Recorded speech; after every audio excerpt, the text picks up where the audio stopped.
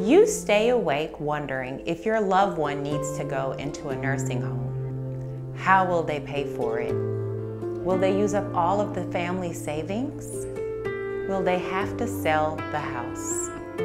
I understand that worry.